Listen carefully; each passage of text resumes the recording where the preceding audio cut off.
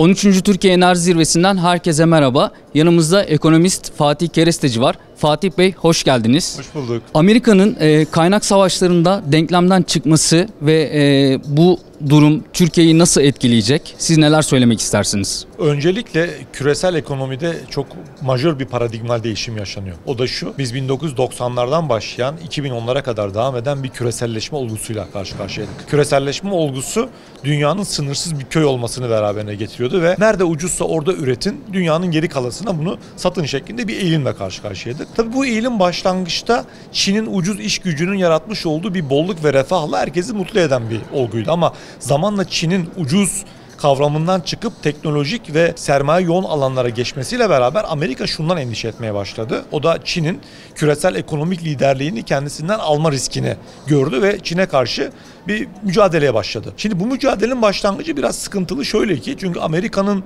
tesis etmiş olduğu örgütlerden birisi Dünya Ticaret Örgütü ve dünyada ticaretin daha işte dengeli ve adil olmasını sağlayan bir örgüt. O yüzden siz kalkıp da hani Çin'e karşı yaptırımlarla bu kendi kurumunuzu zedelemek istemezsiniz. O yüzden Trump'ın seçimi bununla bir alakalı. Çünkü hani Trump yaparsa normaldir algısıyla biz 2010'ların sonunda Çin'e karşı bir ticari anlamda yaptırımlar ve engellemeler görmeye başladık. Sonrasında Biden geldi. Yani Bidenomics diye adlandırmış olduğumuz üretimi yeniden Amerika'ya çekme politikalarıyla beraber bu eğilim biraz daha pekişmiş oldu. Ama bu eğilimin pekişmesi dünyada tekrardan gücü Amerika'yı getirmedi. Çünkü Çin geçen 20-25 yıllık dönem zarfında özellikle imalat sanayinde dünyadaki katma değerin üçte birini üretir hale gelmeye başladı. Ve öyle bir noktaya geldi ki bazı ürünlerde vazgeçilmez hale geldi. Yani biz bazı alanlarda Çin'in çekilmiş olduğu bir üretim modelinde dünya ekonomisinin sağlıklı bir şekilde performans kaydedemeyeceğini görmeye başladık. Şimdi bu denklem içerisinde önümüz şunu gösteriyor aslında. Dünya bir taraftan Çin'in yükselişi ve Çin'in kendi ekosistemine karşı mücadele ediyor. Diğer taraftan bu mücadele yaparken büyümeye zarar vermemeye çalışıyor. Bunun sonucunda dünyada bir kaynak savaşı modeliyle karşı karşıya kalacağız. Bu kaynak savaşı görünen o ki önümüzdeki 5-10 seneye damgasını bulacak.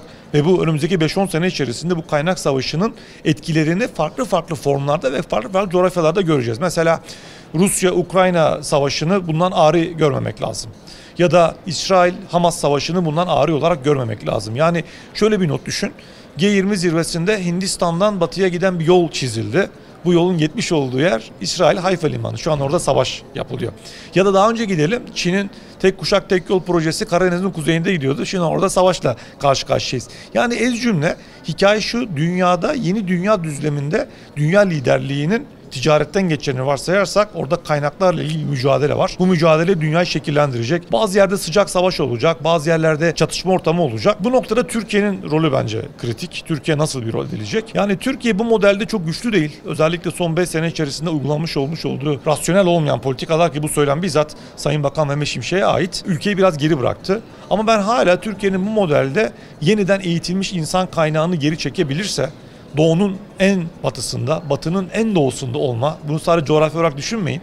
Bunu iş yapma şekli, düşünme tarzı olarak da düşünmek lazım. Türkiye bu anda kendine bir avantaj sağlayabilir ama bunun için biraz daha fazla çabalaması lazım ki bu dünya modelinde kendisine yeniden avantajlı bir role gelirsin. Politikaları doğru oynadı. O da şöyle, yani siz de sordunuz.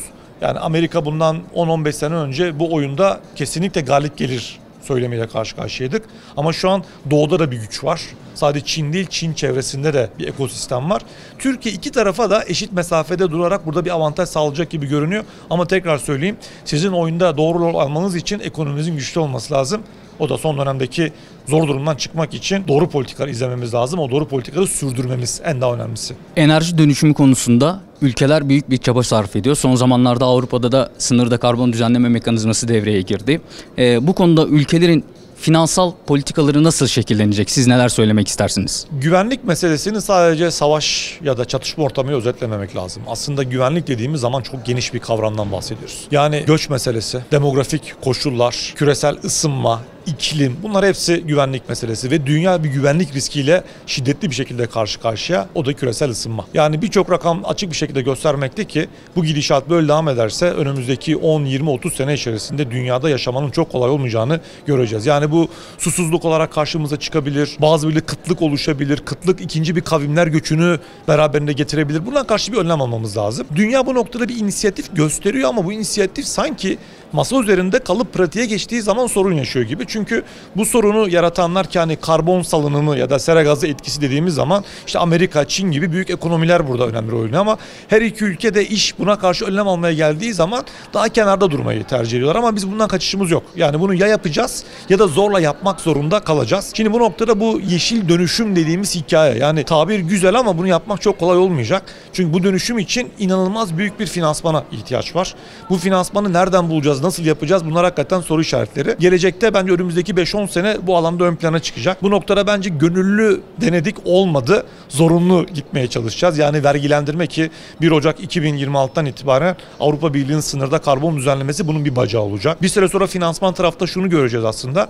Sizin finansmanı kullanacağınız alanlar eğer temiz alanlar değilse yani karbon ayak izi yaratan alanlarsa size ya kredi verilmeyecek ya da çok pahalı verilecek. Aksine yapmış olduğunuz işler ve karşında talep etmiş olduğunuz kredi yeşil bir alana gidiyorsa, su tasarrufuna gidiyorsa ya da sürdürülebilirliğe gidiyorsa daha ucuz bir finansman ve daha bol bir finansman olacak. Aslında adımlarla beraber ben orta uzun vadeli bu alanda aşama kaydedeceğini düşünüyorum ama bu kolay bir olay değil. Ve dahası Türkiye bu noktada çok iyi konumlanmadığı kanaatindeyim. Şu şekilde yani bir bizim kendi içerimizdeki yeşil dönüşüme finanse etmemiz kolay olmayacak. İkincisi bizim özellikle ihracat sektörlerimiz bu dönüşümle uyumlu gelişim kaydedecekler mi, kaydedemeyecekler mi? Eğer kaydedemeyeceklerse Türkiye'nin orta uzun vadede özellikle bu engelleri ya da bu sınırlamaları getirecek Avrupa ihracatında büyük sorunlarla karşı karşıya kalabileceği aşikar ki bu da ekonomik anlamda önemli bir risk unsuru olarak masa üzerine duruyor. 13. Türkiye Enerji Zirvesi'nde ekonomist Fatih Keresteci ile birlikteydik. Sorularımızı cevapladı. Kendisine çok teşekkür ederiz. Ben teşekkür ederim. Benim için büyük bir onurdu. Tekrar görüşmek üzere.